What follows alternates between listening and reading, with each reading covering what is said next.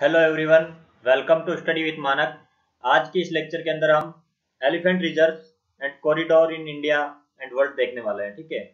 कि elephant reserve कहाँ कहाँ इंडिया के अंदर मिलते हैं और किस प्रकार की प्रजाति एलिफेंट की कहाँ कहाँ मिलती है, ठीक है? कौन कौन से प्रकार की स्पीसीज है एलिफेंट की, ठीक है? वीडियो को एंड तक देखें लाइक करें शेयर करें सब्सक्राइब करें स्टडी विथ मानक चैनल को एंड बेल आइकन को प्रेस करना ना भूलें, ताकि आने वाला वीडियो का नोटिफिकेशन आपको मिले फ्रेंड्स, ठीक है? World elephant day is celebrated on 12 August 12 अगस्त को वर्ल्ड एलिफेंट डे सेलिब्रेट करते हैं, ठीक है? एलिफेंट डे जो लार्जेस्ट मेमल ऑन लैंड है, ठीक है ना?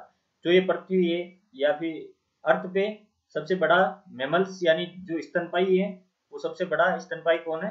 एलिफेंट है। जो जो ये 12 अगस्त एलिफेंट डे सेलिब्रेट किया जाता है, वो 2012 के अंदर लॉन्च किया गया था, ठीक है? Elephant the longest gestation period, ठीक है ना? जो इनकी प्रेगनेंसी टाइम है, वो सबसे ज़्यादा एलिफेंट का होता है, ठीक है ना? तो 22 महीने लगते हैं इनकी प्रेगनेंसी को कंप्लीट होने में। तो मतलब कि दो साल के अंदर एक बच्चा ये, या फिर एक या दो जितने होंगे वन टाइम प्रेग्नेंट होंगे ठीक है ना? Female give birth every four to five years ठीक है ना? लीड बाय फीमेल एलिफेंट जो भी ये फीमेल एलिफेंट्स होते हैं ना, इनका ग्रुप होता है तो उसको लीड करते हैं फीमेल एलिफेंट होते हैं, ठीक है ना? जैसे कि अपने घर के अंदर मुखिया होते हैं ना, जैसे इनके अंदर मुखिया होगा वो फीमेल एलिफेंट होती है। ये क्वेश्चन फीमेल एलिफेंट का इस, ये क्वेश्चन यूपीएससी के अंदर पिछली बार पूछा गया था, ठीक है फ्रेंड्स एशियन एलिफेंट अब देखते हैं type of elephant Asian elephant होते हैं और अफ्रीकन एलिफेंट होते हैं। There are three sub species of Asian elephant तीन सब स्पीसीज है एशियन एलिफेंट की। पहली है Sumatra Sumatra Indian and Sri Lankan ठीक है? तो एशियन एलिफेंट है, उनकी तीन स्पीसीज है। अब हम एशियन एलिफेंट है, जिसके अंदर जो इंडिया इंडियन एलिफेंट है, उसके अंदर around 25 percent of them in Karnataka जो इंडिया के अंदर लगभग वन बाई फोर्थ एलिफेंट है, वो कर्नाटक के अंदर ही मिल जाएँगे अपन को, ठीक है ना? आयुशियन रेड लिस्ट इनकी ये इंडेंजर्ड कैटेगरी के अंदर है आयुशियन के अंदर, और wild wildlife protection act है, उसके अंदर शेड्यूल फास्ट के अंदर, ठीक है? और साइट के अंदर अपेंडिक्स वन के अंदर है। अब हम देख लेते हैं अफ्रीकन एलिफेंट के बारे में, ठीक है फ्रेंड्स अफ्रीकन एलिफेंट की दो सब स्पीसीज है। अफ्रीकन एलिफेंट द सवाना और बुश एलिफेंट या फिर फॉरेस्ट एलिफेंट फॉरेस्ट एलिफेंट को वाइल्ड लाइफ एलिफेंट भी कहते हैं, ठीक है? वाइल्ड एलिफेंट भी, ठीक है? और आयुशियन रेड लिस्ट के अंदर वलनरेबल कैटेगरीज के अंदर है। Difference between Asian elephant and African elephant Asian elephant are smaller than African elephant Asian elephant छोटे होते हैं और इनके ईयर्स होते हैं जो छोटे होते हैं अफ्रीकन एलिफेंट से। अफ्रीकन एलिफेंट के ईयर्स बहुत ज़्यादा बड़े बड़े होते हैं, ठीक है? लार्ज फेन शेप के अंदर होते हैं। Only some male Asian elephant जो होते हैं, उनकी ट्रस्क ग्रो होती है, ठीक है ना? कुछ कुछ एक मेल एशियन एलिफेंट होते हैं, उनकी टस ग्रो होती है, जबकि जो अफ्रीकन एलिफेंट है, उनके मेल और फीमेल दोनों की टस टस ग्रो अब हम देख लेते हैं India initiative for conservation of elephant Gaj Yatra nationwide campaign to protect elephants was launch on of the world elephant day in 2017 2017 के अंदर गज यात्रा को लॉन्च किया गया था। और उसके बाद पहले देखते हैं तो प्रोजेक्ट एलिफेंट जो 1992 के अंदर लॉन्च किया गया था, एक सेंट्रली स्पॉन्सर्ड स्कीम है, जिसके अंदर स्टेट और सेंटर दोनों का कंट्रीब्यूशन होता है। सीड बॉम्ब्स उड़ीसा के अंदर, अथागढ़ फॉरेस्ट डिवीज़न है उसके अंदर, उड़ीसा गवर्नमेंट ने लॉन्च किया था, जिसके अंदर सीड सीड्स होंगे, वो कास्ट करके एक बोल बोल फॉर्म के सेम के शेप होगा उसके अंदर फ़ीड कर देंगे और जो फ़ूड स्टॉक का काम करेगा एलिफेंट के लिए, जिसकी वजह से मैन एलिफेंट कॉन्फ्लिक्ट कम होंगे फ्रेंड्स ठीक है?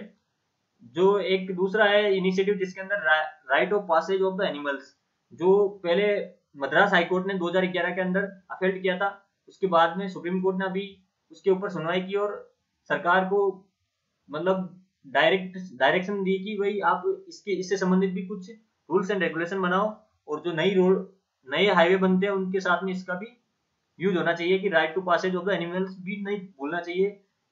ठीक है ना? तो इसके हिसाब से अभी अभी जब जो नई रोडवेज़ हाई, बनेंगे हाईवे बनेंगे तो उनके अंदर क्या, उनके साथ में क्या होगा कि हर हाईवे पे जैसे कि अभी जो पहले, कुछ टाइम पहले, अभी थोड़े महीने पहले नितिन गडकरी ने जो minister of road and transport highway उन्होंने बताया था कि अब जो भी नया हाईवे बनेगा, उसके साथ में एनिमल्स के लिए कॉरिडोर बनाया जाएगा ताकि एनिमल्स आराम से आ जा सके। और मैन और एलिफेंट या फिर मैन और एनिमल्स का कॉन्फ्लिक्ट कम हो फ्रेंड्स ठीक है? अब हम देख लेते हैं एक अगला प्रोजेक्ट है प्रोजेक्ट रिहेब जिसके अंदर reducing elephant human attack using bees has been launched in Karnataka Nagarhole national park और नागरहोल टाइगर रिज़र्व ठीक है? इंप्लीमेंटिंग एजेंसी है इसकी KVIC the Khadi and village industries commission जिसके जो ये रिहेब प्रोजेक्ट रिहेब एक सबमिशन है under the national honey mission और केवीआईसी के बारे में देख लेते हैं। केवीआईसी एक स्टेचुरी बॉडी है, जो स्टेब्लिश की गई थी 1956 के अंदर, ठीक है, जो ये केवीआईसी है, वो ministry of micro small and medium enterprises के अंदर आती है, ठीक है। अब हम देखते हैं अगला initiative Haathi Mere Saathi a campaign launched by ministry of environment and forest और with the partnership of the wild life trust of India तो जो हाथी मेरे साथी है, वो मिनिस्ट्री ऑफ़ इन्वायरमेंट फॉरेस्ट और wild life trust of India के India ने launch किया था, ठीक है? इंटरनेशनल इनिशिएटिव के अंदर the monitoring the legal killing of the elephant the monitoring the legal killing of the elephant MIKE programme है, ये बहुत इंपॉर्टेंट है फ्रेंड्स माइक प्रोग्राम पूछ लेता है तो वो एलिमेंट से रिलेटेड आता है, ठीक है? जो 2003 के अंदर लॉन्च किया गया था is an inter is an international collaboration that track trends in information related to illegal killing of elephant from across Africa and Asia तो ये भी ध्यान रखें कि ये अफ्रीका और एशिया के अंदर ही है, ठीक है? जो ये माइक प्रोग्राम रन किया गया है, वो अफ्रीका और एशिया पर्टिकुलरली देखिए एशिया और अफ्रीका के अंदर ये क्या? तो ये भी सही होता है, ठीक है ना? To monitor effectiveness of the field conservation efforts ठीक है? आगे देखते हैं elephant corridor the very first elephant reserve was the सिंगबूम elephant reserve of Jharkhand जो फ़र्स्ट एलिफेंट रिज़र्व इंडिया के अंदर घोषित किया गया था, वो सिंगबूम एलिफेंट रिज़र्व झारखंड वाला था। और according to the elephant census 2017 India Asian elephant population है सताइस हज़ार तीन सौ बारह, ठीक है? और जो ऐसी एलिफेंट की सेंसस होती है इंडिया के अंदर, वो एवरी फाइव ईयर से होती है, ठीक है ना? ये लास्ट सेंसस के डाटा है 2017 के तो 2022 के अंदर नई सेंसस आएगी, उसके बाद में हम वो डाटा जो होगा देख लेंगे हम। सबसे ज़्यादा, जैसा कि मैंने पिछले स्लाइड्स के अंदर बताया था कि वन बाई फोर्थ इंडिया के अंदर जो एलिफेंट मिलते हैं, वो कर्नाटक के अंदर मिलते हैं, ठीक है? तो कर्नाटक के अंदर इनकी संख्या है छह हज़ार, उनपचास, आसाम के अंदर है पाँच हज़ार सात सौ उन्नीस, केरला के अंदर है पाँच हज़ार सात सौ छह। तो टॉप थ्री का नाम हमें याद रखना है फ्रेंड्स कर्नाटक, आसाम, केरल। कर्नाटक, आसाम, केरल। हम आगे देखते हैं माइक साइट्स इन इंडिया जो ये माइक प्रोग्राम चलाया गया था, इसके तहत इंडिया के अंदर टोटल दस साइट टोटल दस साइट्स है, ठीक है? जो इंडिया के अंदर है। वैसे पूरे वर्ल्ड के अंदर या फिर इंटरनेशनल लेवल पे देखते हैं तो पचास पचास के आसपास साइट्स हैं। ठीक है फ्रेंड्स अब हम इंडिया की देख रहे हैं। चिरांग, रिपू है, वो आसाम के अंदर है। दिहिंग पटकाई है, आसाम के अंदर है। ईस्टर्न डुआर से वेस्ट बंगाल के अंदर है। देमोली, अरुणाचल प्रदेश गारो हिल्स मेघालय मयूरभंज उड़ीसा मैसूर कर्नाटक नीलगिरी तमिलनाडु शिवालिक उत्तराखंड वायनाड केरला ठीक है? ये जो मैप दे रखा है इसके अंदर, सभी की लोकेशन दे रखी है। आप इनको नॉर्थ से साउथ ईस्ट से वेस्ट एक बार लोकेशन को देख ले फ्रेंड्स ठीक है? अब हम देखते हैं, जो एलिफेंट रिज़र्व है इंडिया के अंदर कौन कौन से जोन के अंदर है, कौन से स्टेट के अंदर? ठीक है? अब हम पहला जो नॉर्थ वेस्टर्न लैंडस्केप है, जो उत्तराखंड और उत्तर प्रदेश के अंदर आता है, शिवालिक का एलिफेंट रिज़र्व है, जो उत्तराखंड के अंदर है, उत्तर प्रदेश एलिफेंट रिज़र्व है, वो उत्तर प्रदेश के अंदर ईस्ट सेंट्रल लैंडस्केप है, वेस्ट बंगाल, झारखंड, उड़ीसा। वेस्ट बंगाल के अंदर है, मयूर जहारा एलिफेंट, ठीक है? जबकि मयूरभंज कहाँ है? उड़ीसा के अंदर। मयूर जहारा एलिफेंट है, जो वेस्ट बंगाल के अंदर है। झारखंड के अंदर सिंहभूम एलिफेंट है। उड़ीसा के अंदर वो Mayurbhanj elephant Mahanadi elephant reserve, Sambalpur elephant reserve, Baitarani elephant reserve और साउथ उड़ीसा एलिफेंट रिज़र्व। तो टोटल पाँच एलिफेंट रिज़र्व कहाँ है? उड़ीसा के अंदर। फिर हम देखते हैं छत्तीसगढ़ के अंदर Lemru elephant reserve Badalkhol Tamor, Pingla elephant reserve. Lemru elephant reserve अभी करंट में न्यूज़ में था, क्योंकि फ्रेंड्स वहाँ पे प्रोटेस्ट हो रहे थे। वहाँ के जो फॉरेस्ट एरिया में जो लोग रह रहे थे, उन्होंने प्रोटेस्ट स्टार्ट किया क्योंकि स्टेट ने उसके एरिया को कम करने के प्लान लेके आए थे, ठीक है? कामेंग सोनितपुर लैंडस्केप अरुणाचल प्रदेश के अंदर है, आसाम के अंदर है तो अरुणाचल प्रदेश प्रदेश के अंदर कामेंग एलिफेंट रिज़र्व है और आसाम के अंदर सोनितपुर एलिफेंट रिज़र्व है। ईस्टर्न साउथ बैंक लैंडस्केप जो आसाम के अंदर आता है और अरुणाचल प्रदेश के अंदर, आसाम के अंदर भीम पट्टा एलिफेंट रिज़र्व और अरुणाचल प्रदेश के प्रदेश के अंदर south Arunachal elephant reserve.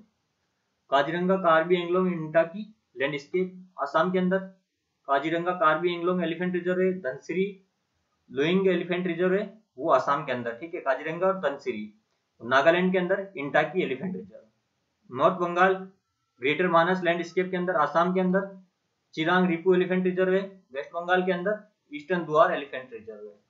अब हम देखते हैं मेघालय की लैंडस्केप के अंदर मेघालय आता है, जिसके अंदर गारो हिल्स और खासी हिल्स, एलिफेंट रिज़र्व आते हैं। ब्रह्मगिरी, नीलगिरी, ईस्टर्न घाट लैंडस्केप है, वहाँ पे कर्नाटक है, कर्नाटक के अंदर आता है। ब्रह्मगिरी, नीलगिरी कहा, कर्नाटक के अंदर? मैसूर एलिफेंट रिज़र्व आता है, ठीक है? और केरला के अंदर जो ब्रह्मगिरी और नीलगिरी पहाड़ियाँ हैं, वो चार स्टेट के अंदर आती है। आंध्र प्रदेश, कर्नाटक, तमिलनाडु और केरल। फ्रेंड्स नीलगिरी अलग है ब्रह्मगिरी नीलगिरी का पूरा, पूरे एरिया को लेके लेते, लेके हम बनाते हैं जो एलिफेंट रिज़र्व बनता है, ठीक है? नीलगिरी की हाईएस्ट पीक चोटी कौन सी है? कमेंट बॉक्स में कमेंट करके बताएँ फ्रेंड ठीक है? अब हम देखते हैं केरला केरला के अंदर वायनाड एलिफेंट रिज़र्व है नीलाम्बूर एलिफेंट रिज़र्व है तमिलनाडु के अंदर Coimbatore elephant reserve Nilgiri elephant reserve Karnataka के अंदर रयाला एलिफेंट रिज़र्व अब हम देखते हैं Anamalai Nelliyampathy high range landscape Tamil Nadu के अंदर है अन्नामलाई एलिफेंट रिज़र्व केरला के अंदर Anamudi elephant reserve Periyar Agasthyamalai landscape वो केरल वो केरल और तमिलनाडु के अंदर है, ठीक है? केरल के अंदर पेरियार एलिफेंट रिज़र्व है, और तमिलनाडु के अंदर श्रीविल्लिपुत्तूर एलिफेंट रिज़र्व हाल ही में इसी को टाइगर रिज़र्व भी बनाया गया था फ्रेंड्स 2021 के अंदर ठीक है? तो इसका नाम भी याद रखें श्रीविल्लिपुत्तूर एलिफेंट रिज़र्व कहाँ है? तमिलनाडु के अंदर है, लीमारू एलिफेंट रिज़र्व कहाँ है? छत्तीसगढ़ के अंदर है, ठीक है फ्रेंड्स ये जो मैप के अंदर जो डायरेक्शन दे रखी है लोकेशन दे रखी है इनकी, उनको नॉर्थ से साउथ एक बार आप अपने मैप के अंदर लोकेट करें, ताकि फ्रेंड्स आपको इजीली याद हो जाए। वीडियो को लाइक करें शेयर करें सब्सक्राइब करें, और बेल आइकन को प्रेस करें, ताकि आने वाले वीडियो का नोटिफिकेशन आपको मिलता रहे फ्रेंड्स थैंक यू फ्रेंड्स